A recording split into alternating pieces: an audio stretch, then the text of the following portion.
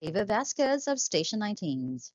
The character of Eva Vasquez, played by Kelly Thiebaud, is unquestionably formidable. She was always a drama, whether you loved to hate or hated to adore her. We are thrilled that she's returning for season six of Station 19 because of this. You did hear correctly, and just in time to assist her ex boyfriend Jack mend his broken heart following the disclosures of his history the season five finale. Although there was some talk that he might not be back for season six, he is back, baby. For those that need fresher, let's go over the history.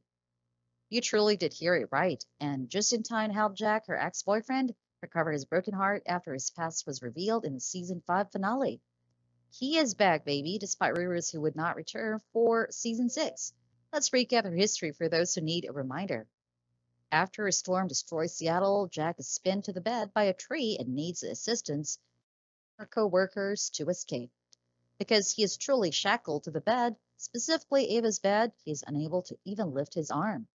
He had been hiding in Kansas City as everyone had assumed, but in Eva's house. You may be sure that these two will help one another to heal their emotional wounds. Kelly expressed her excitement about returning to Station 19 on Instagram ahead of season 6 of the show. Excited to be steering some mischief on at Station 19 again, Kelly will undoubtedly spice up the place while she's here even though it's not yet certain how many episodes she'll be back for. Kelly Thiebaud is also well known for her roles as Dr. Britt Westbourne on General Hospital and Zoe Burge on Days of Our Lives. She has also appeared in several other shows, including Chuck Castle, The Secret Life of the American Teenager, and Criminal Minds.